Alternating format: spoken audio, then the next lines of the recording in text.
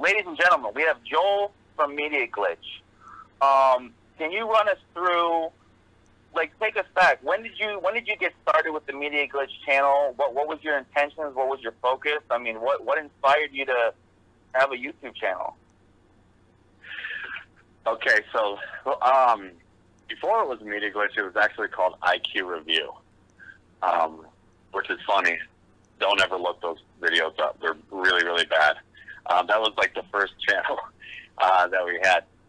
Um, but actually, um, I was uh, I had been living in Mexico like a good portion of my life, and I came to America, and um, I was really I, I don't know I, I don't I was I was kind of missing Mexico. wasn't sure I could if I was gonna like fit in here. You know what I mean? It was a very different culture to me, um, which is crazy because I was born here, but you know, it's it's just a long story. But I I was having a hard time uh, being in the U.S. and so I was just like I was sitting there, I was at work, and uh, my buddy's like he seen me, uh, who's Brian Lee, who was who wasn't on Media Glitch, but he was on IQ Review. He's like, hey man, you know, you look down, and I just kind of explained to him. He's like, oh dude, man, I just watch Netflix, and I'm um, I'm like, what's that?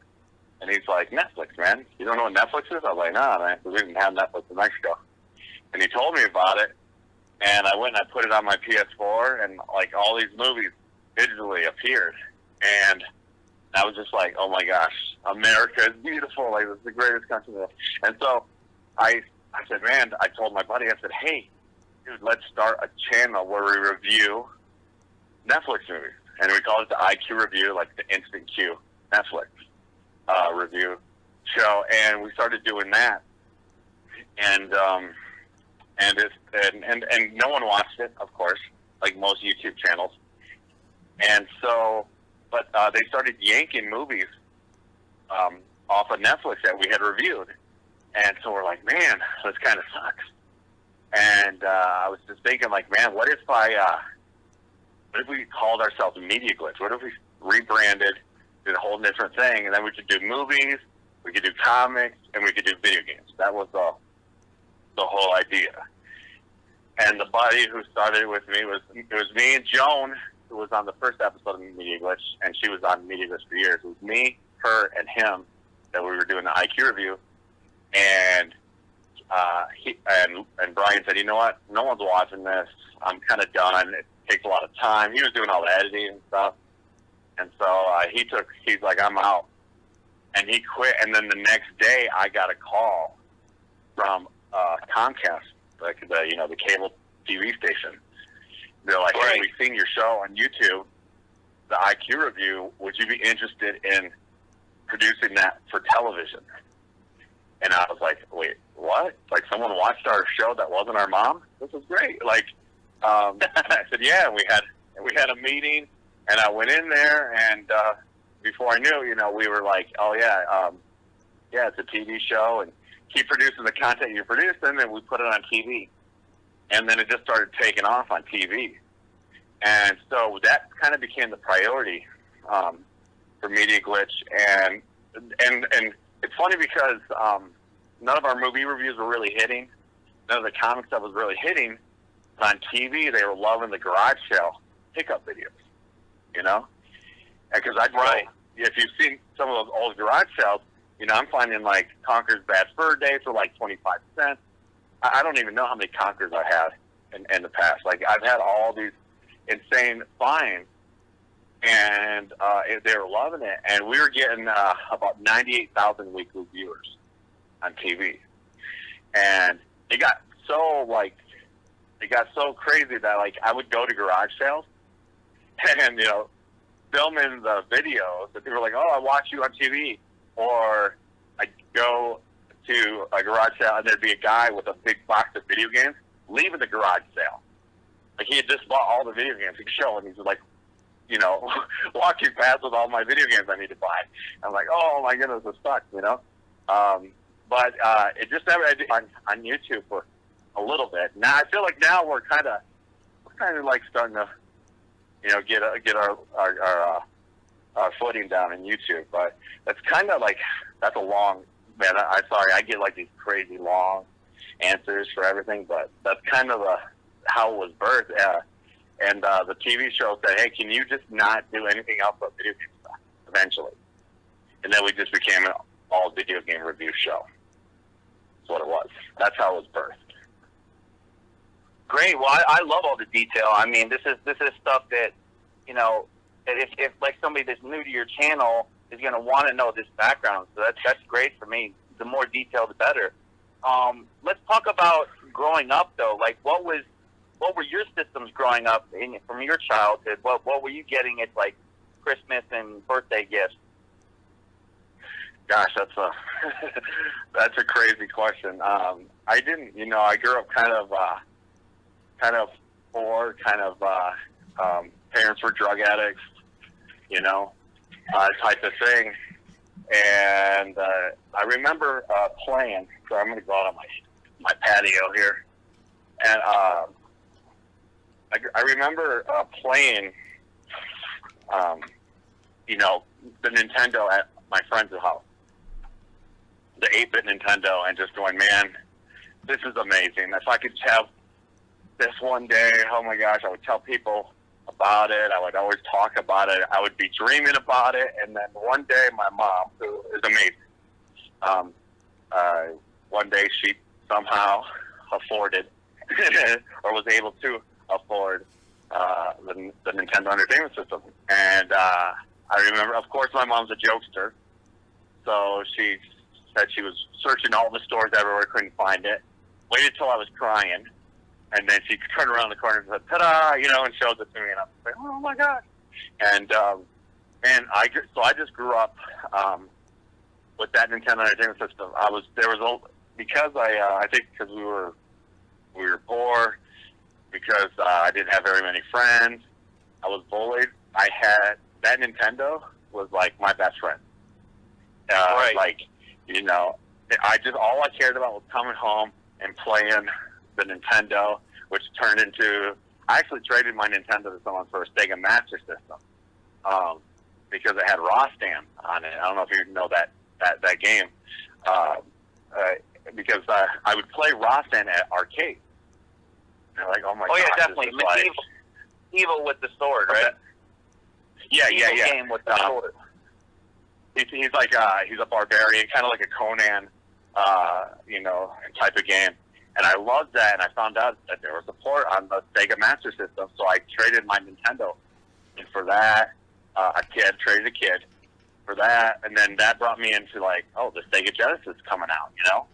And uh, there was another game I played a lot called Spellcaster on the Sega Master System, and system, and Phantasy Star, and all these other games. And I was like, oh, when we moved into the to the 16-bit era, I went right with Sega. Um, and I, mean, I did play some Super Nintendo too, you know, of course, uh, later. But my focus was always on um, the Sega Genesis. And then uh, when I played Revenge of Shinobi, which I mean, if you watch the channel, it's no surprise. And I'm saying, you know, Revenge of Shinobi is my favorite game of all time. I love it to death. It's like, I played it last night on my stream. Uh, that's you know, uh, I just love that love that game. And uh, played Sega, and then I moved on to like the TurboGrafx 16. Um, I actually bought a Super Nintendo for a minute, and I ended up trading a kid. Um, this kid who was I met out, he was out by this pond, and he was fishing, and and I was walking out there, and he was talking about how he had a TurboGrafx 16, and I was like, oh, I got a Super Nintendo. Oh, I wish my mom would have bought me that. And I was like, well, you, let's trade, and we traded. He had the CD attachment and everything. We traded straight up, and at the time, he definitely got the better deal, but I got to grow up having a TurboGrafx 16 and falling in love with some of those games, you know. And then, uh, and uh, then I moved. You know, we moved. I moved on to you know Nintendo 64, Sony PlayStation, and right around then I get uh, uh, and you know this might go into media glitch history about road to recovery. Um, you know, I get so bad into drugs and stuff that I'm like, I can't. I I, I sell everything, um, and I lose all my my collection and everything, and I have had nothing for many, many, many years, almost until I came to America. So, I don't know if that's a like, but is that is that answer your question or not? No, well, you know, I, I, the, the thing that remains constant throughout your whole life is the video games, though. You know, and it's Yeah. you, you know, for a while, like you said, you sold them off, but then you came back to it. You know, I, I love the success story that you were able to overcome that, though. You know, that that addiction, and you were able to, you know, to move on and and have all this focus on all these creative. I mean, so I mean, that's the kind of stuff people want to hear. That's awesome. That's a triumph story, you know. Yeah, and like, um, I mean, today I feel I feel like video games is still like my form of uh, uh, anxiety medication. My form of relaxation. It's you know, it's my escape. You know, because even though like, you know, when I'm I'm, you know, because I'm a film director and that's my full time job. So um, when I'm not on set or I'm a I'm a family family man. You know, I got uh, four kids. I got a wife. You know, once uh, once everything's taken care of, that's my that is my escape right there. Because like just chill, you know, clear the mind, and uh, or if I got to go to uh, you know uh, one of these game gaming conventions, and you're around people all weekend long, and you know doing interviews or whatever. Um, you know, I don't like. I'm not. You know, I'm not uh, very public. Um, I don't know. My wife probably me someone. Oh, there are they? Oh, yeah. Sorry. Um, sorry, I got to move spots though. Oh my goodness. Okay. So, um, uh, I lost my train of thought. Sorry. Um, yeah. So, like you know, you know, when I come back from one of these times or something, I just kind of like use video games to kind of decompress. You know. Uh, because, Absolutely. you know, you can, I get, I can build up a little bit of anxiety around huge crowds, but I'm it's crazy as it may seem. I'm always in them, you know. uh, so it's, uh, video games, man. It's just like my, it's the friend that never, that never lets you down. It's all, and it's always going to be there, you know. And uh, Absolutely. yeah, my love for video games is deep, man. It's deep. And let's jump to your other. Let's jump to your other passion as a film director. Let's talk a little bit about your your, your personal inspirations. Your, you know, what, what growing up? What were the directors that that you, you, you saw their vision in film, and you said that that's what I want to do. That's what that that type of that type of movie or that type of um, you know that type of script. That's something that I'm interested in. What what, what were some of the directors that, that really inspired you? Um, well, you know, I think like most kids, maybe growing up in the '80s, you grew up watching uh, Star Wars. You grew up watching um, Right. Um, you know, I, I gotta, I gotta thank my mom too um, for kind of my some of my passions because my mom loved horror movies, loved them to death. Right. But she could, she was deathly afraid of them, man, and she could never watch them alone. And so, I remember at three, three, four years old, you know, her sitting me there, you know, just so she would not be alone watching these things, you know. And I, and did it, did it scar me uh, for life? Maybe I, I can't go into the ocean because of Jaws. um, you know, watching Jaws, Jaws as a kid. But I grew up watching Jaws. I grew up watching um, The Shining. I grew up, you know, watching Suspiria. Uh, all these like uh, horror movies, man. Hellraisers. I, you know, like. I mean, I, if there's a horror movie out there, I've seen it. You know, and uh, Right. so those were, were were big inspirations for uh, to me. Never really thought like and that when, when I was watching, I was like, you know, one day I'm going to be a filmmaker. Never in my life did I ever think that. Um, the only time that I thought it's just possible for just because it, it seemed like that Hollywood seemed like a whole nother world. Like you're born into it, you know. Um, Right. so and so's dad does it. You grew up doing it, so you're doing it now. You know. And gotta have connection. and then I gotta yeah, yeah.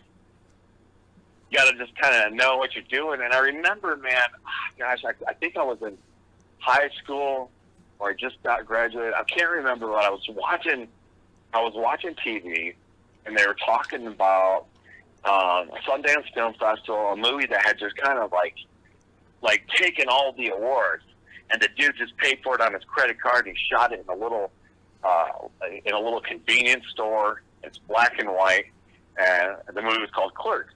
Kevin Smith, you know.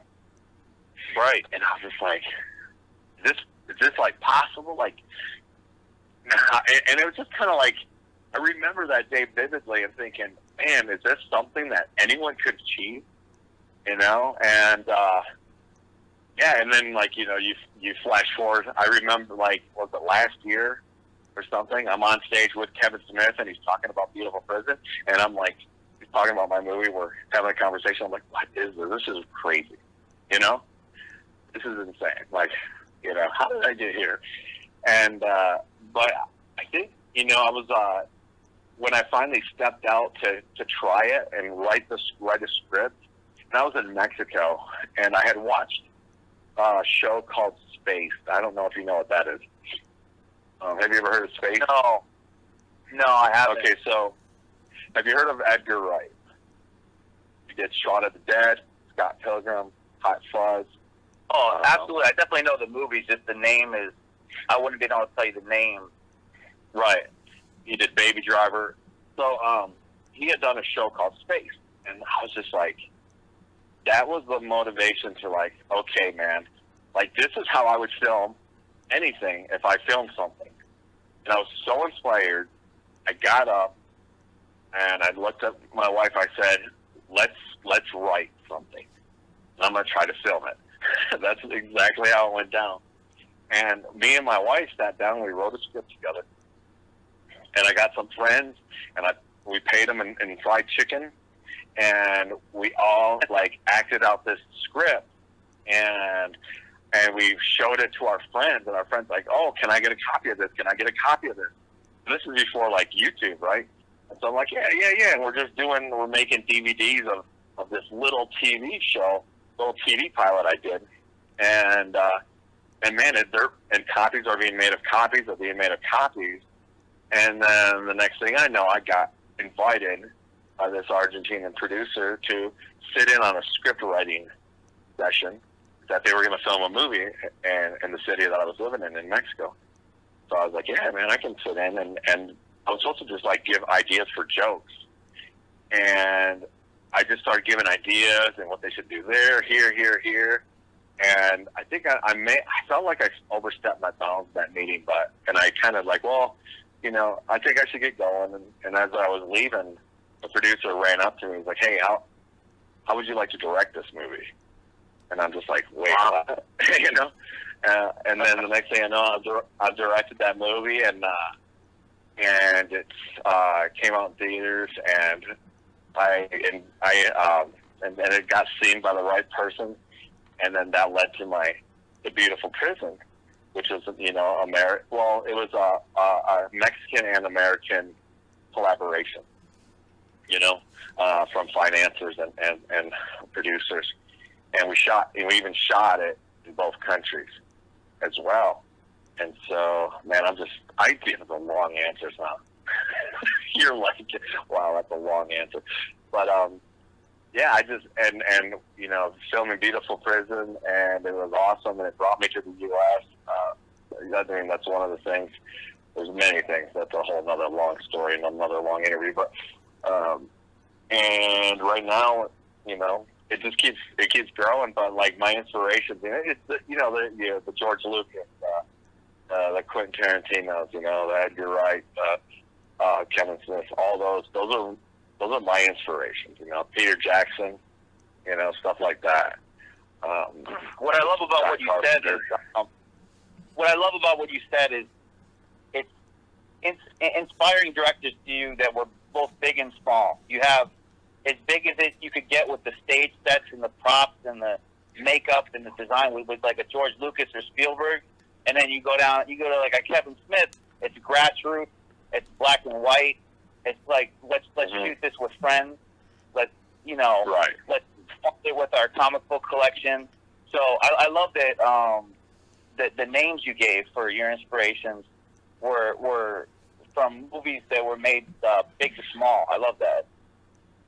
Yeah, and what's crazy And is uh, that's what probably that's what probably inspired you, like you said, that you could do it. When you saw Kevin Smith, when you saw Clerk, you're like, wait a minute, maybe maybe I maybe I can do this. But look how he's shooting this. Look look at the budget he had. Right. Yeah, and and and um, you know, and, and uh, Kevin Smith's awesome, but you can tell, like uh, Kevin, you can tell Clerks. You know, that's no, it's not Star Wars. You know, it's not Indiana Exactly. Jones. It doesn't have all the, the famous. I don't even know if that camera moves at all uh, in that movie, but like uh, it was just like so simple to the point. Like, oh man, okay, maybe that. I remember that. That's the seed that was planted, and then I really feel like, um, you know, then watching Edgar Wright Spaced, uh, and even the, uh, the Office UK, it wasn't in the, it hadn't been made in the US yet. Uh, but that too was like, man, I, I can, maybe I should try. And that's how my whole life's been, I think. Let's try and see what happens. So now with like You know? with like Shaun of the Dead, with like Shaun of the Dead, for example, did did is what connected you with with, with that movie is it's not just horror, it's comedy in there.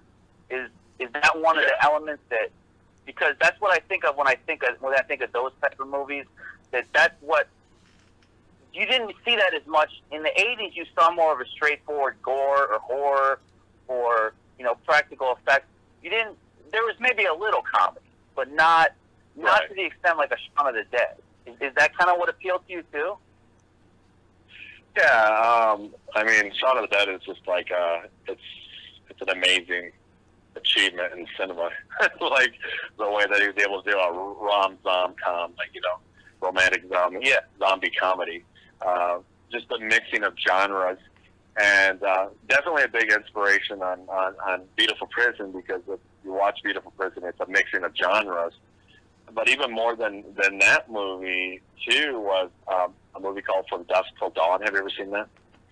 It's Oh, uh, course. Robert Rodriguez and Quentin Tarantino, where you think you're watching this whole like monster gangster movie play out, and then all of a sudden it flips the script on you, and you're watching the vampire. movie. You're like, holy hell, what the heck just happened? And so I love um, how um, big, I love how badass Clooney is in that, and I love that that's Yeah. like you, you you have to get a full a full acting performance from Quentin in that one because you, you don't see you don't see either of those two things that much. Like Clooney being a badass full on, and Tarantino really because usually in his own movies you just in there for a second. So I like that he actually, he Right. actually did a good performance in that as, as an actor. Oh yeah, yeah, he's uh, totally mental in that one. It's awesome. you know, and like it, but it all like, I hope, man, one day I can mix the two loves together and make yeah, like a video game movie. One that we got- with that one that's like, oh my gosh, made by someone who loves video games. You know, well let one me ask you you don't this. walk out. Yeah. Let me ask you this, Joel. How did all the years of filming Media Glitch inform your directing? How did, what were some techniques, if you can somehow pull from that, what, what were some things that you were able to pick up from doing the Media Glitch show? It, it, were you able to try any of that? I, w- I would say it's probably reverse. Uh, you know, because I continue to work on sets, uh, TV shows, um, and so I take what I learned from there and apply it to Media Glitch. But the, the cool thing about Media Glitch is what's what's helped me as a director is being in front of people, leading the team, um, because eventually Media Glitch would become more than just a TV show that ran Friday nights. It became a live TV show. And we shot it live and it aired live. And so if you watch some of the episodes, you know, people, you know, you can see in the comment section, people are like, man, why don't you, you know, you messed up. Why didn't you cut that out or edit it out? I'm like, it was live. That's what went down. Um, so, like, you know, uh, if there was a mistake, if someone farted on set, if some, you know, all that stuff is there, you know. And I never wanted to take it away, you know, uh, take it, take that out. I wanted the people to go, people would always, I don't understand is that like your your, a review show, but or, or we'll get it in the comment section a ton. Like, hey man, like you could have done that review in like five minutes. Why did you guys linger so long? And then I got to explain. Well, we got to make it to commercial. They're like, what commercial? What are you talking about? I'm like, we're a TV show first, a YouTube channel Right. second. You know, so uh, sometimes that just it didn't work. It didn't work with the YouTube formula. But I would say, like I like if you watch some of the um, some of the skits on Media Glitch or the Road to Recovery series, stuff like that. I would take like some of my filming things I learned in the film world, and we would do these skits, and we just have so much fun. You know, so I think like uh, it's not so much what I learned from Media Glitch, but more what I learned from the film world and brought it over to uh, into the Media Glitch world. You know.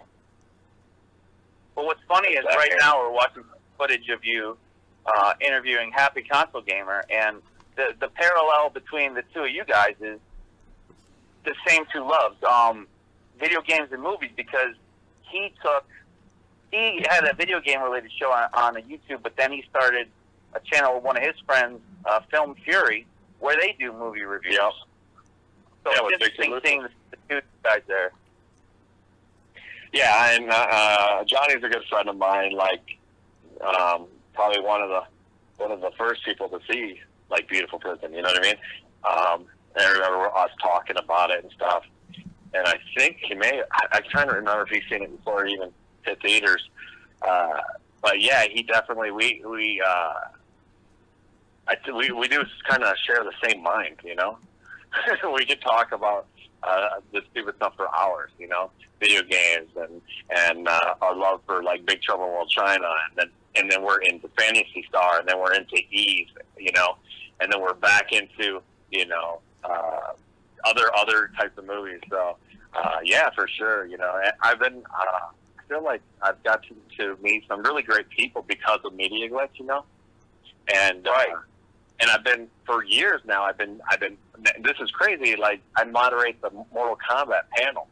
You know, I moderated the 25 year anniversary Mortal Kombat panel, and then from that, every year they've been asking me to come back to moderate this, and I'm just like, man, this is crazy that I'm sitting here with you know Daniel Pesina, uh, you know, or all these all these awesome people who who acted out the games that I love so much, you know, and uh, it's just surreal sometimes, you know, and so I, I man, I I, I love meeting with so much because it's definitely um, opened doors to, to meet a lot of cool people, a lot of like-minded people. Because when you're a kid and you're you're a gamer, when I grew up, like now, you play video games, it's cool. Now you read comics, it's cool. When I was doing it, man, we were the nerds. We were looked down upon. We were the losers, right? Right. And so, and and and those losers would kind of like hide in the corner in the shadows, and we would find each other. And you'd find the other kid that was playing Zelda, or you found the other kid that was, you know, uh, trying to beat Phantasy Star. And so, like, you, and like in your mind uh, and in your life, you're always looking for uh, that person to connect with. And YouTube is like this, like, hey, look at all these other people who grew up like you, you know, and is an instant connection there, like with with Johnny Happy Console Gamer or with um, Jimmy. Uh, he does a show called Lots of Games. Um, we connected because he did an Eve review, and I was like, man, I, I didn't know anyone else knew what Eve was. You know, when I was when I when I started watching YouTube, uh, YouTube videos, and so I reached out to him. I did an interview with him, and man, now we're like super good friends. I talk to him like every week. He's been out to the house, you know, we hang out, you know. He's it's like all the way across the country, but we we managed to make it happen, you know. Right. Let me ask you this, Joel, because what you said is interesting to me. I think back to the Nintendo NES, right? Didn't they sell a hundred Yeah. million of those things? Did they sell like a hundred million? And the I mean, reason I was a asked you that, popular system. Yeah. The reason I ask you that is because isn't it so weird that it was considered nerds to be playing video games on something that sold a hundred million units? I mean, um, one in what was I, think I remember hearing something like one in three households had a Nintendo at some point in by the end of the '80s. And is isn't it isn't it kind of odd though that people people still put it in, in some kind of a, a nerd a nerd uh, like idea of a nerd that's playing it when so many people have one. Yeah, and I think I think it's like there were a lot of homes had it, and they had like Super Mario, and they had Contra, and they had Duck Hunt. You know, it's Right. kind of like the Wii. The Wii is everywhere in every household, and but the majority of people, you know, all I mean, I, I remember playing Wii Sports. You know, um, so like I think that like there were a lot of households that had it, but there weren't the, and then there were these kids that were they'd go home and they'd play all these other games that were out there. You know, it was more than just like this uh, entertainment device that we played on the weekend. You know, to kill an hour or two. Um, and but like because like when I was growing up, kids had basketball practice after school. Kids had football. Kids had wrestling. Kids had all these other things. Hey, kids had friends. They just went out and rode bikes back in the day. You know, they got outside, which doesn't se- seems weird now since we're all not able to go outside. But like, uh, and I didn't have any of that, so I was just like, I go home, you know, and I'm like, all right, Ninja Turtles, you bastard, I'm going to try to beat you tonight. We're going to do it. you know, and then, I don't know if you know Ninja Turtles. How old are you? Just out of curiosity. Um, I, I just turned 36 today. Actually, it's my birthday, believe it or not. So I remember It's birthday Ninja? Turtles one. Happy birthday. Yes, sir. Thank you. That's awesome, man. Yeah, so Ninja Turtles, dude, like um, it, on the NES was just like the that that was my. Uh, I beat it eventually one day, but oh my gosh, I remember just coming home and looking at it and going, "All right, you mother, let's do this. Let's let's try. Right. Let's try it again." And you would spend from the time you got home from school till the time you went to bed. You know, when other kids were outside playing, you know, having boyfriends and girlfriends and, you know, doing all that kind of stuff, whatever, right? Me, man. Right. Ninja Turtles. It was okay, today I gotta beat Tyson. Okay. Today I gotta beat Contra. Today I gotta you know what I mean? Uh and you know what, dude? Like I love that. I love that. Like, you know, like I made those the friends I made I feel like later in life, those were those would be those two or three kids that I found in school that did that too. You know, and and in the YouTube I was able to find a bunch of them, and we all hang out. Like that's why me and Treat Gaming, Radical Reggie, we play video games on Saturday nights and we stream it. That's that's that. That's that bonding that that video games create, and it's a bond that can't be can't be faked. Uh, you know, like I'll I'll I'll know I'll, I'll spot a fake immediately if you come in and you're talking about, oh yeah, man, when I was a kid, I played this and I played this and I played this, but and, and, you know what I mean? And then we just ask like three questions, and we go, and then, did you really play those, or are you just like being a fake? Um, but that's Right. what bonds us together. Like we can sit there and we talk, and like, oh gosh, you remember this? Oh yeah, you remember this? And I'm not saying you need to have played those games. Hang, you know, because like uh, like uh, my buddy John from Intrigue Gaming is a great channel. Um, he's just now going through all the NES games because he hears us talk about it so much. He wants to know what's that about. I want to experience that, you know. And that's even another cool thing uh, for making Media Glitch is you get to show these other this people that there are other other games than Call of Duty and Fortnite out there. You know, you should check them out. They're, awesome. So, um, so I don't God, look at that. Look how many. Look how how far away on that question. I'm sorry. Not at all, though. What, what What's funny is, um, you know, you mentioned Radical Reggie. He, I noticed with him, he collects far and wide. I mean, he'll collect everything from disc bass the cart the hacks to. I've seen his pickup videos, um, in in the Metal Jesus videos, and it's it's Yeah. unbelievable. He gets more games in one month than I probably get in two years. But he, so Right. he is really, and he'll get he'll get games that are imports that I don't know where he's Mhm. finding them, and so I know what you mean, like about how serious certain gamers are versus somebody that's just like, yeah, I remember playing Super Mario Three. Well, everybody remembers playing Super Mario Three. I mean, Right. that doesn't exactly. that doesn't mean. you're- now, and that's what what's saying. interesting. Like, uh, what? Oh, go no, go ahead. I was gonna say, and uh, what's what's funny about going from somebody super casual gamer to somebody that's super collector? What's the what's on the footage right now is, is I think Lynn, is that how you say his name? He won a Nintendo World Championship. Yeah. Mhm. Somebody like that, that's like savant level of amazing at games. Like Yeah. Or or, or Chris Payne who's won some. Yeah. Or like Chris Payne, who's won a bunch of those uh, Tetris, uh, Street Fighter uh, things. You know, like I uh, we had Chris Payne on the stream last weekend, and he came on and was playing me and Reggie and and Sarmar uh, against us in Street Fighter, and it's like I put in hundreds, if not I don't know, thousands of hours of Street Fighter, and and I can't even get Right. a hit on him. you know what I mean?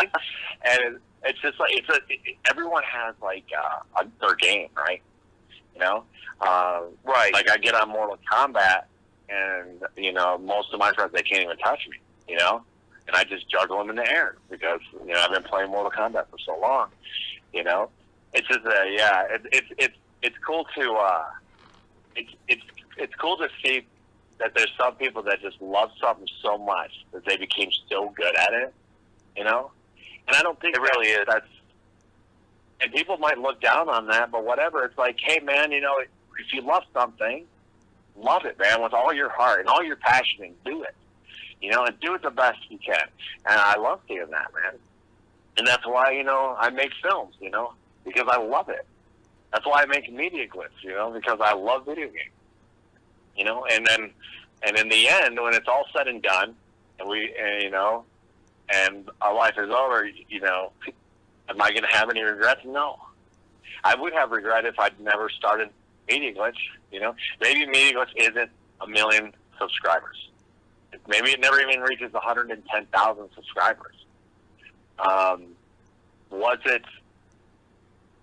Was it? How do you say it? Oh gosh. What did it did did did it accomplish anything? And I say, yeah, it did, man. It accomplished like I got to meet some really cool people. You know, I got to do this uh, I cool always look at it like with you guys. I always look at like You know what I mean? like did you did you impress yourself? Did you do what you set out to do to the fullest? Who cares what everybody else says? Did you live up to your own expectations of what you wanted to do? I think is more important. hmm And yeah, that's exactly you know. Um, as long as you're happy with yourself, if you set out to like set out, yeah, I'm going to make a YouTube channel so I can make tons of money, and you fail, well then I guess you know that's on you. You know, so if that's if that's Right. what you wanted out of the channel and it, and it didn't succeed, know. But I never wanted like millions of dollars or anything like that. You know, I didn't. The plan was never to become. Uh, it's a creative outlet, man, and uh, creative people will understand this. Like, if you don't get something out of your head, you'll go crazy. You will go crazy, and so like, uh, and I always have to be creating something. That's just like that. Who I am. It's in my blood. You know, if I'm not making movies or making a commercial or writing a script, um, I need to be, you know, making a YouTube video, you know, or I have to be doing. I there's a lot of other things I do. Like if you look on uh, that Road to Recovery series, I also have I have a drug rehab for drug addicts and prostitutes to help get them off the street, to help get them clean and, and back into society. You know, because that's another passion I have is just see someone come out of that world. You know, and I want to encourage anyone who's who's listening, like if you have a passion, if you have a dream, do it. Don't let anyone tell you you can't. You know, had I listened to any of the naysayers, I would never have made my first movie or my second movie or the third movie I'm going into. You know, I would never have the drug rehab center. I would never have uh, media glitch or, or been on live TV. You know, or you know, that's just a couple. I think there's so many other things that I've done in my life as well. Just because I didn't, I just believed in myself. You got to believe in yourself. You know. And it's like you took a, a genre and made a movie that your heart is in the right place, your passion is there. Now, if somebody was just to go out there and make a smash hit movie, the movie's probably going to be a piece of crap. But if you if you put your heart into it and the passion is there and you know it's great, at the end of the day, I believe the people are going to come. It's going to find the audience if the intentions are right. Now, you have to obviously Right. have a- an idea of how to market it. You have to have an idea of who your audience is. But I really believe it's like it's like a songwriter. A, a- lot of times, you know, because I play guitar, I write music. If you set out to write a hit song and please everybody, you're probably going to fail. If you try to write the best Right. song that you can come up with to, to blow yourself away, somebody's going to feel something from that. Because you're never going to Exactly. please everybody, right? You're never going to write that smash hit that everybody loves. It doesn't exist. It can't be done. But can you write the best song that you think you can write, and the people can feel something from that? Exactly. Yeah, and you're never going to please everyone. Right. For sure. Yeah, and it's got to be, you got to, like, it's got to be good to you, and you got to be true to yourself. Like, if you look at um, my movie, Beautiful Prison, you look at it, the IMDb rating, it sits at a 5. And if you go into the ratings, you'll see, you'll see 10 stars or you see one star. Like, there's, there's an audience that it connects to, and then there's people that just absolutely hate it. They either hate it or they love it, man. You know? Right. And it's and and the thing and you know, art is subjective. You know, uh, the people that grew up like me are going to understand that movie.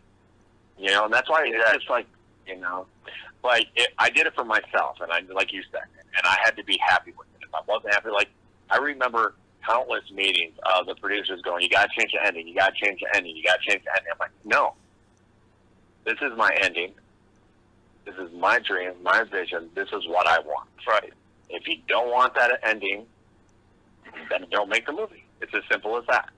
And I never changed that ending. And you'll see in the, you'll see in those reviews, people are like, "Dude, that ending was amazing," and you'll see, "Bro, that ending sucks." Like you, you see it, it's just so it's just so like one way or the other. And, and, and but in the end, what matters is that I'm happy with it. And like you said, you know that you're that you as the creator are happy with the work that you do and that you make. That's how. Because if you're if you're doing it to please the people, it just ain't gonna happen, you know. And it's And about the people that believe. yeah.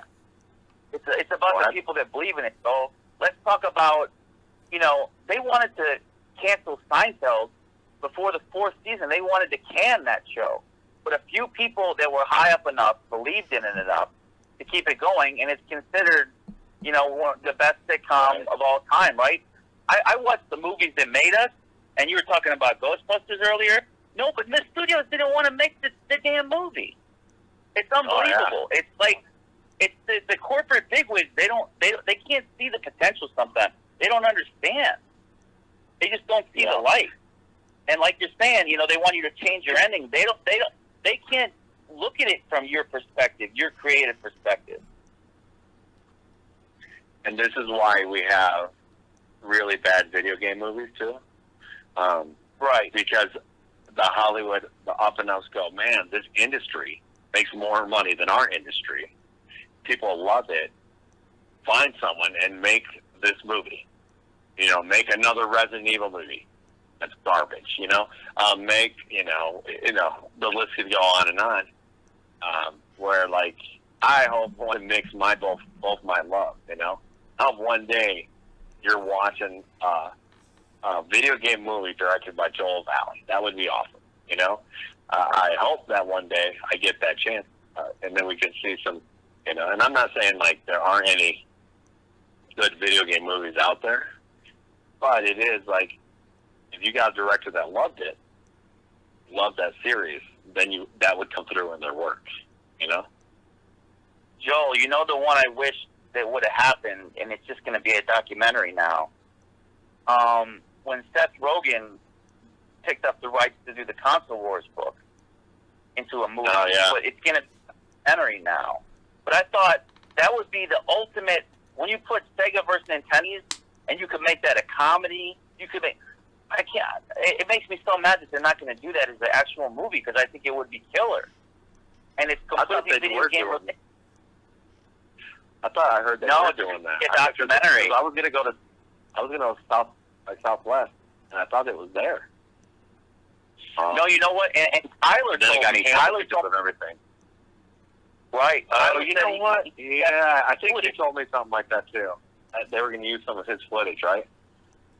Exactly. Yeah, yeah, yeah. Now I remember. I remember. Yeah. Okay. Yeah. Well, you know. Well, I mean, we'll see what happens. You know. Uh, even a documentary, that's still that's still a great achievement. You know. Oh, oh, for sure. I just, you know, you never see, like you said, you never really see that video game movie on the. I mean, besides the, everybody goes back to the Wizard, right? But what, what else? what other movies think of? I, I'm not. I'm not going back and watching that Pixels movie. I mean, no disrespect to that movie, but Yeah. the, the Adam Sandler one. But yeah. I mean, I, Well, you have you're talking. So there's there's two types of movies here. We're we're kind of talking about because you're talking about movies that are like in in this world in Earth about video games, which would be like Wizard, right? Or Pixels. Right. And then you have movies that are like Resident Evil, which are based in the world of the game, you know.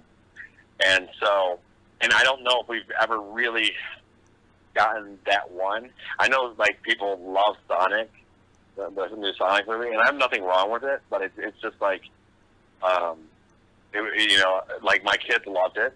It's fun. It had some jokes in it. It's great. You know, it's a good watch. You know, that's probably the best, the closest they've they've come to that type of thing. There's an animation like the Dragon Story one. Uh, I don't know if Right. you watched that on Netflix. Uh, the uh, Dragon Quest. now. That one is really well done. You know, but the pacing's kind of crazy. But you could tell that that was for gamers, made by gamers. You know what I mean? And it and it Right. shows through where I do see a lot of Hollywood still, and there's a template and a format uh, in Sonic. You know, and I'm not knocking the Sonic movie, but I'm just saying it, it still has. I, I don't think it's gotten to where we want. You know, where we want Right. to go. You know, like I wonder I mean, why like, um, they haven't given. I wonder why they haven't given uh, Super Mario to Pixar to do something like. Yeah, you know. Again, um, you know, you just gotta hope and pray that, uh, especially in animation, because it's more. It's it, it's when you think about it story wise, and they break it down to just so many people involved.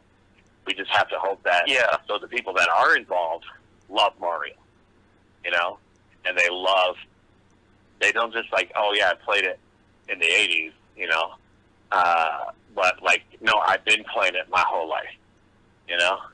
I know all right everything about it, and I want to see how do we and take that care and and and, and take like almost like a little baby and handle it delicately for the fans and make sure they get what that Mario movie they've always uh, wanted. Now Pixar, if they did make a Mario movie, I, I I would have a lot of faith in that, you know, because even Right. if they didn't, they would do their research with the people that do because those guys do their research. You know, never bet against Pixar. Pixar. Those guys, they know what they're doing over there. So that would be cool. But there are so many great stories, um, video game stories that could be told to film. Oh my gosh, you know. And I know they're making a new Mortal Kombat, and I'm wondering how that's going to turn out. I hope that's done well. We'll find out, huh? Yeah, for sure. If they, if, hopefully, they get the right direction to do that. Yeah. And we, yeah, we'll see. So, you know, I don't know, man. I hope that one day I get to mix those two. You know, I've been, uh, I feel very fortunate in the career that I've had. And, um, you know, I feel blessed for sure. Uh, so, you know, who knows? Maybe I'll get that opportunity one day.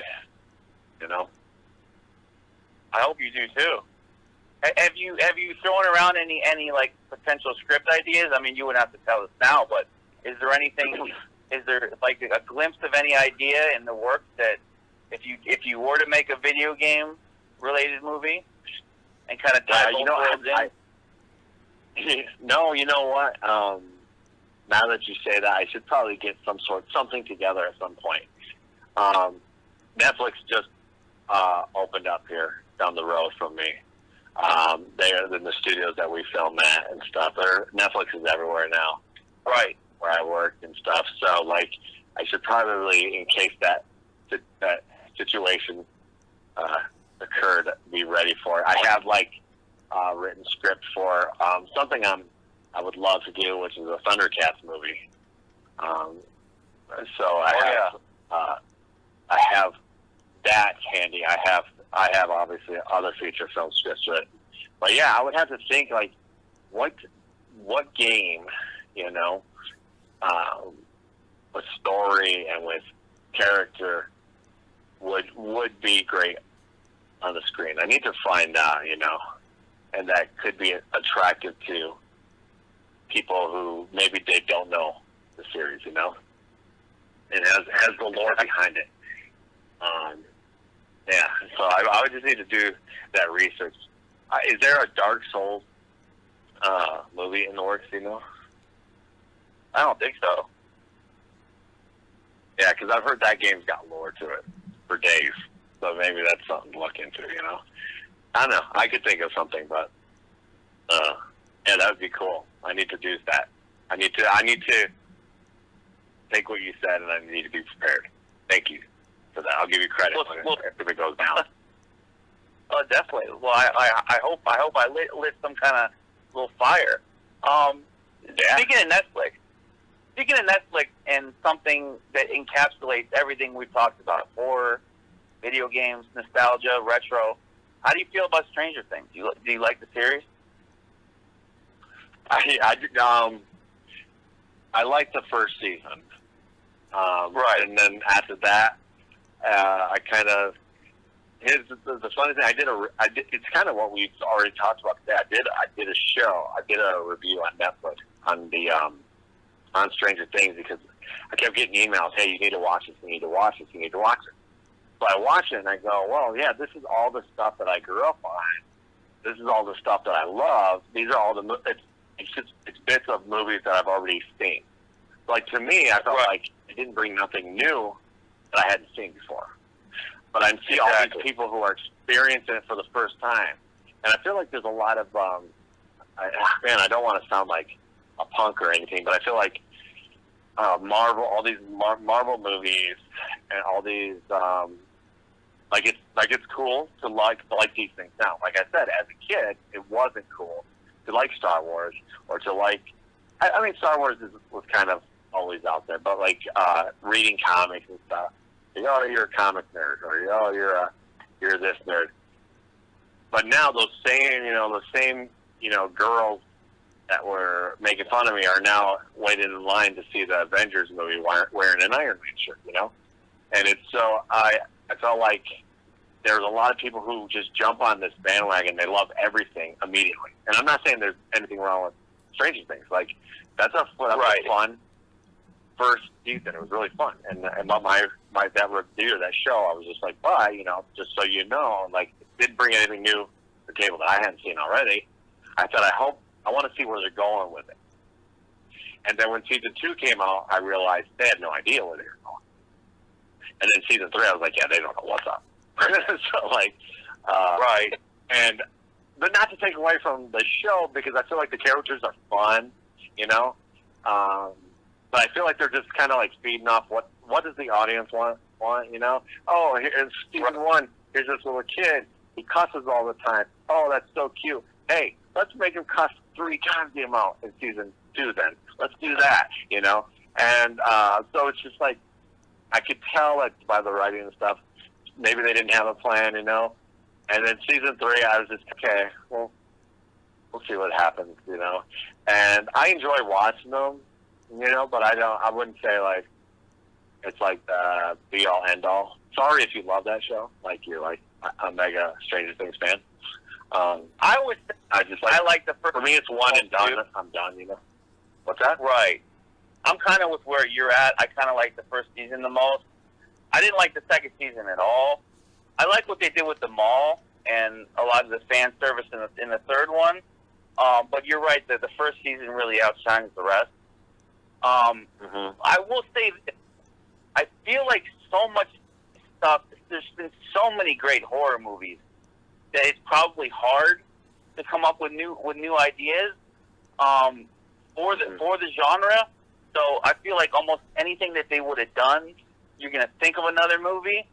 But I hear what you're Right. saying. It's like nothing really groundbreaking for for the Exactly. horror stuff. But it was groundbreaking Um, for people who didn't grow up with that. And then I respect Right. that.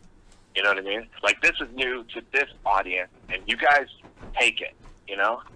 And I would always talk about zombie films. Like I loved zombie films as a kid, zombies, and then all of a sudden it became pop culture media, and I'm like, oh my gosh, now everyone loves zombies. It's it's insane, you know. And but they didn't grow up watching all those. Like The Walking Dead, that's new to them Right. the the, the, the concept of zombie, and, and I'm all cool. I'm I'm cool with all that. That's that's great. You know? Um, but you know, I did want to say something about because you had mentioned Tyler from my retro life, right? And um, and I'm friends with Tyler, and I remember watching his stuff, and it's very very inspiring work that he does. Um, and it, that had a that was that was a seed that kind of like um, an inspiration to start the Road to Recovery series that I do on on uh, Media Glitch, Right. which is basically you know because I have old footage of me being arrested, you know, or me uh, you know just doing on drugs and or going crazy. I got photos and stuff and and just kind of like this downward spiral of of my life because of drug addiction. And uh, um, so I just wanted to like, uh, you know, let people know who, who don't know Media Glitch, you know, that, that there's that series I created because I wanted to kind of create something that meant more to other people, maybe, that could help. Because sometimes you do get, you get, you get to a part, uh, a point in YouTube where you can get burnt out and it just feels like you're making the same content and maybe the passion that Right. you had when you started wasn't there. And I started to look for something that had a little bit more meaning. And and like when you look at like uh, some some of Tyler's work, you know you can see it in there that there's there's the love, there's the passion there, um, and there's a story. And uh, that was like with Road to Recovery, I wanted to to kind of capture that. It's a lot darker, of course, than than uh, uh, like the My Retro Life but and but I just wanted to document the journey of me getting back this collection that I had as a kid, you know, that I'd lost because I had to feed my habit, you know, or Right. because you know I was partying. There were times where I'd be partying, I'd be all, and I'd be passed out, and I'd wake up, my games are gone, you know, someone stole them, you know, uh, stuff like that, you know, or you just you're selling it to buy crack, you know, and and so it's cool to be like, okay, I have this many years sober, and maybe I can start a series. And I have, man. The audience has been insane, like uh, reaching out to me, messaging me, you know, like, hey, man, I'm, you know, watching your series two weeks clean, you know, three weeks clean, and then I'll hear from like six months, man. I'm six months. Hey, I just reached a year sobriety today, you know, and it all stems from watching one episode that I did, and I really want to get back to making more of those once this whole pandemic thing, you know, kind of clears up, if it does. So, I know, but sure I did, I did. I wanted to like I'm sure- uh, shout out Tyler for that. I'm sorry. I'm sorry. What's that? I was gonna say I was gonna say I'm sure it gives you a sense of closure for yourself too by doing this. That you people, you're sharing your story. You're you're you're able Yeah. to close that chapter, but in a way that you're helping other people. You're hearing back from their stories. I mean, it's you, you, you- you're doing both things here. Yeah, and I want you know I wanted to show people that there is a way out as well, and it is our, our closure kind of for me. Like, okay, yeah, no regrets in life, right? And I do regret like so wasted or being so addicted to coke that I would sell, you know, things that I love dearly. Like, you, I would never think that would it would get like that, you know.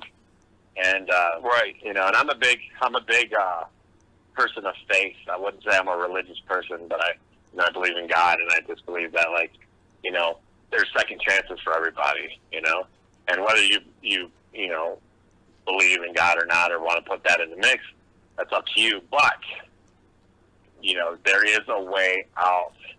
You know, if you're just you know, and and having a good support system, people around you that that can help you and that believe in you is even that's even better too. You know, and I feel like uh, I you know with that series, I can I'm like, hey, tell me your story, man. You know, let me, you know, and I'm, I'm, I, there's, I straight up have conversations with people, and I'm like, hey, man, keep it up, keep going. I believe in you. You know, because sometimes that's all people need is one person to believe in them Right. Help them out of that hole that they're in. You know, because when you go through life, and and this is me, like, you know, my parents or my uh, or my uh, uh, you know, what do you call it, peers or teachers that I don't know how many times I heard you'll never amount to nothing. Like I feel like that that statement is driven and beaten in my brain, and um, I believed it for so many years. You know, until someone out there didn't believe that and said something different to me, and then I was like, oh, okay. And looking back at all I've been able to accomplish, you know, like I feel like, and everyone's got that in them. You know, Right. I don't know. Maybe I'm just rambling now. Sorry. No, no, you're not. You know what it made me think of is whenever I watch an interview, I don't care if it's an actor, a musician. I don't want to hear about the the great times an actor had on set. I want to hear about the years that that they couldn't make it in the business and they were thinking about quitting, but they didn't. I, would rather hear about the struggles or the hardships and overcoming that because I think that's more relatable. I, you know, who who wants to hear about?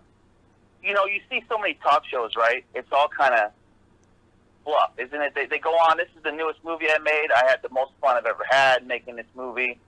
It's kind of a bunch of nonsense, right? When you when you Right. hear somebody in an interview and you hear about the struggle or, or the, the the road that they took, that you know they eventually overcame things. That that's more of an inspiring story to me right. that's more interesting. I don't know about you, but that's more interesting to me than hearing how great they had, the fun they had on the set. You're right. Yeah. Yeah. And I was, I was always, I'm always, it's always hard to hit that upload button, especially like the, the last episode I hit, I did, which was, it was with my mom and, um, and Billy from the Game Chasers in that episode. So it's, it's Road to Recovery episode three.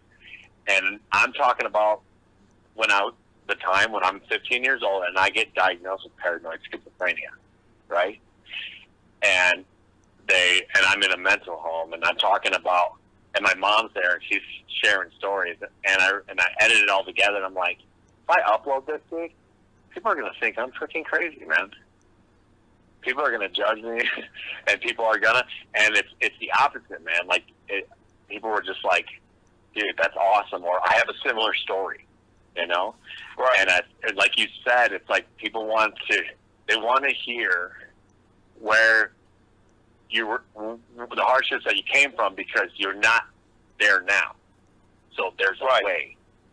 There's somehow the, the battle was fought and you won and you became victorious. How did that happen? And that, so that's a story I'm telling. Exactly. And you know what it does too, Joel? It shows that how we're all so similar because, you know, you look at stand-up comedians, okay? I guarantee you, Okay. ninety percent of the you look at, they took ten years to break, Joel. Ten years, mm-hmm. almost all of them. They didn't just hand them a Right. sitcom. They didn't just say they did a stand-up. Somebody from the audience in a suit says, "You're funny. Let me give you a TV show." No. If you look at those, a lot of those stand-ups, they had to bust their ass ten years doing shows. Maybe they'd get on Johnny Carson or something. Then maybe they get an offer to do a show after ten years. But you look at that, behind every success story is hard work and perseverance.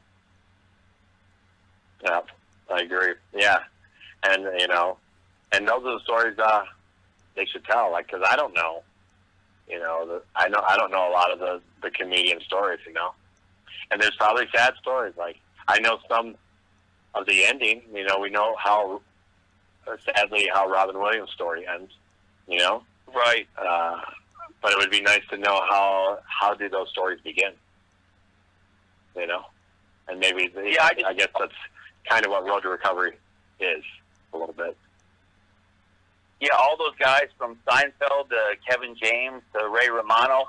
I know that they all uh, they they all had a lot of years before they gave them a show. Before they and I can't imagine like I don't know about you, but I can't imagine like doing stand up for like ten years. And, No. You know, with twenty people in the audience, Terrifying.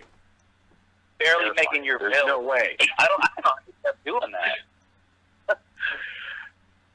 That would be terrifying. I, I I don't even know how they do that. You know, you put yourself out there Right? and hope and being funny, hoping you're funny, and oh gosh, no, that's that's crazy, man. I'm I'm, I'm even afraid to just like tell a joke sometimes in public, you know, because I don't know how people are gonna react. So no, I, no, but it's, it's crazy, but I don't know, man. Yeah. Right. I don't know. Somebody What says go on stage. you? Somebody says go on stage. There's a mic. Make these hundred strangers laugh for an hour. That's not easy. Oh, right. well, even like five minutes.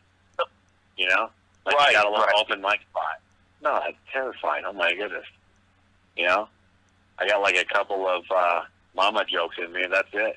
Uh, you know, but you know, there's there, there there's people that are just man, they're just funny. They're they're born and bred for that kind of stuff. You know, and if you Now- don't give up on your dreams, which is kind of like I think maybe one of the themes of this interview is just don't give up on your dream and just keep going and keep going. You know. That's why we we're going to feature channels of all sizes, and somebody like yourself, who's had as, much as you've accomplished, is going to be a real inspiration for channels that only have a thousand subs. Channels that only have a hundred subs that are that are just starting. We just want to build a community here, hopefully, in the long run.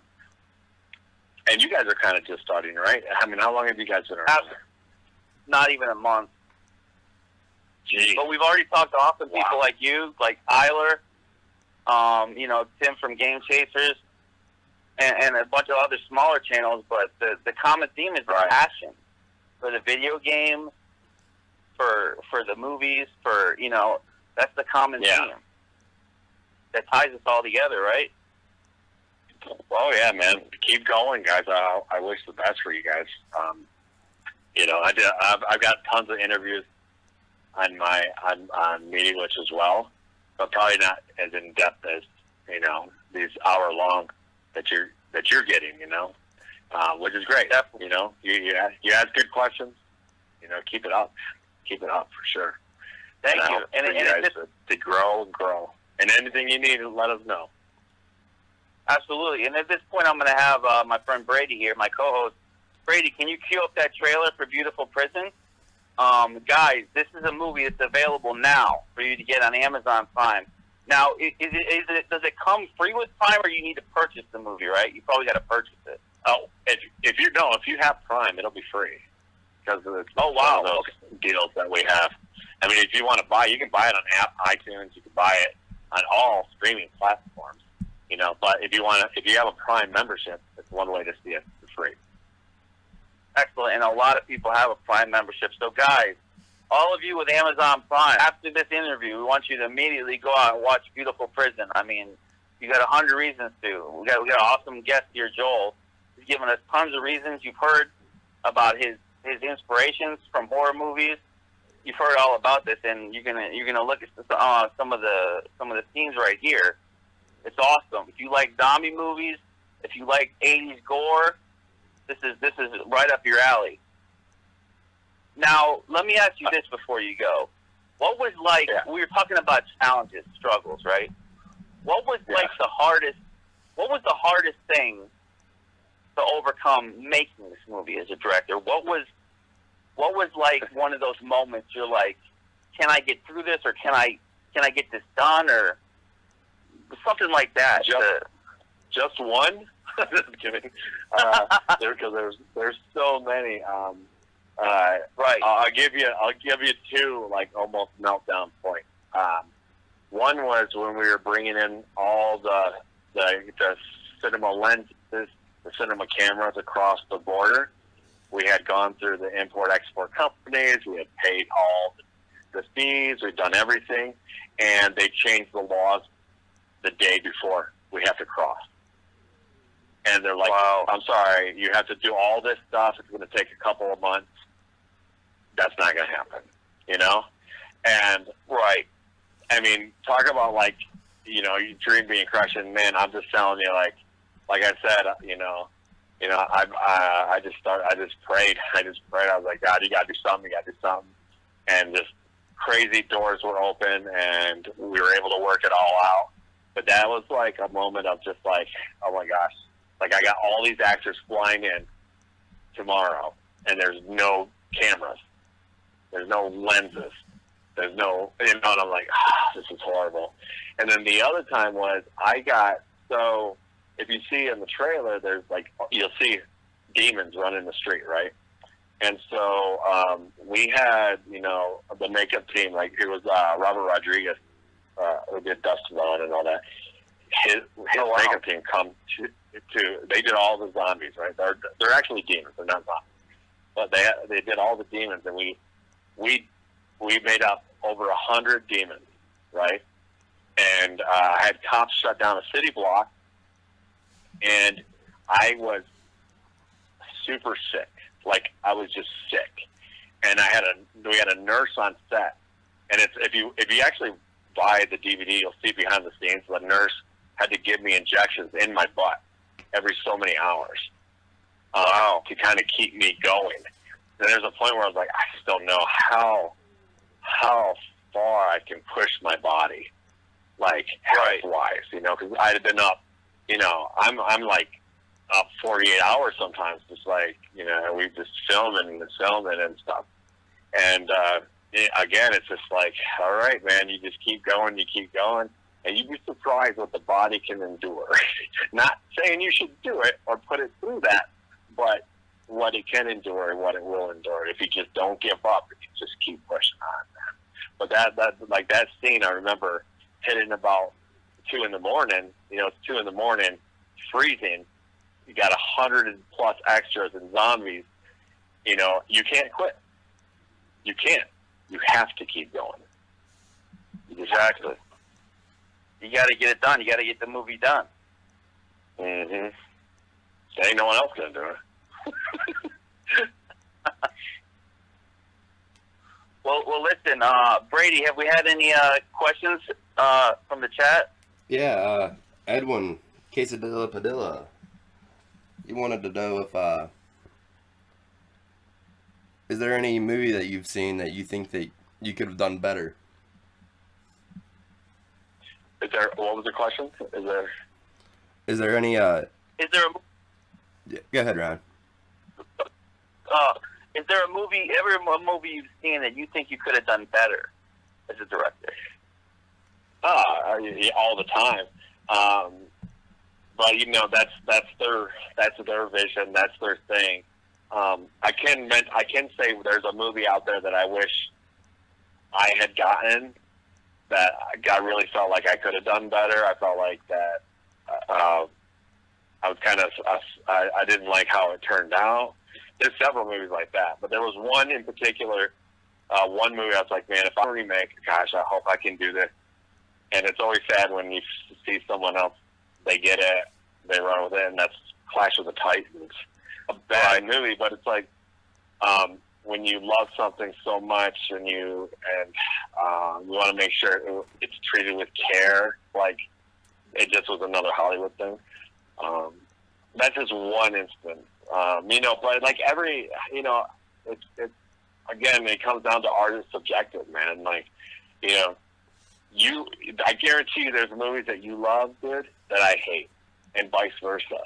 And so, like, right, I might be, I might see a movie all the time. And go, Gosh, why did he do that? Why did he do that? Well, that was his vision, you know. And so I can't knock the guy, you know. Um, you know. And then there's movies like just that blow my mind. I'm like, in a million years with uh, millions of dollars, I could never make a movie that awesome. so uh, I could see the, the the the total opposite of that too, where there's just movies that I'm just like, holy smokes, man, how you know? Even a movie as old as like Terminator Two. Like when I watch Terminator Two, sometimes I'm just like, jeez. I mean, uh, there's no way I can ever make something like this. It's just so good, right? You know. So That's why it's one of the best action Yeah. movies ever. good question. Yeah, that's a good question. Well, though. Joel, listen, Joel, thank you so much for doing this. It's been awesome talking to you. Uh, just to let you know how it's going to work, we're going to upload an edited version of this whole interview in its own video tomorrow. You know, from this live stream, uh, we're going to put links for not only Media Glitch, but for Beautiful Prisons uh, directly to Amazon, so people can get get get to see the movie. Um, we're going to put links for specifically the Road to Recovery series. So everything is going to be in that description and we're gonna, you know, tweet that out. Uh, we don't have a ton of followers, but we're gonna try to get it out there. And maybe if you could, Yeah, no, uh, guys are just starting. I will, of course, I will. I will help you guys out. You know, uh, you know, I want to see you guys succeed. You know, in in your love and your passion. So I'll definitely do that. And also, I just want to say I'm actually going into production here uh, to a TV series called Behind the Yellow House. That's that is a working title. It could change. The color of the house could change. Hard to say. Um, but you'll you'll hear that being announced. There's some big names attached. I'm directing. Pretty pretty excited going into that. So if they're wondering what they'll be seeing in the future from me, um, you'll get a whole TV series probably before you get another feature length film. Actually, so pretty excited about that. So be on the lookout. For Is that. that is that an active IMDb link that I could bookmark? And is that already No, to keep track of? not at the moment. no, not yet. Okay. No, it will be. It'll, it will be soon, but you got we got to wait till this whole pandemic thing goes because once absolutely, you know, we're waiting to announce all the actors that are on board. We're waiting to announce everything, um, you know, until we can start filming it. And there's all these criteria. There's like Lionsgate got all these criteria that, um, like how set life is going to be. It's going to be crazy trying to film because of this whole thing. Everything's changed, and so um, the precautions, all this stuff that we're still like like it's just so up in the air right now. So at the moment, we're just kind of like waiting, and then once everything's established, big announcements coming. Excellent. Well, well, we're excited to see it. We're excited to see it come to fruition. And and congrats on your your, your, your latest project here. Thank you, and thanks for having me on, man. Good time. Absolutely. Thanks for being on, Joel. Take care, man. You too. We'll talk to you soon. All right, keep in touch. Thanks again. Thank you. Bye bye. All right, bye.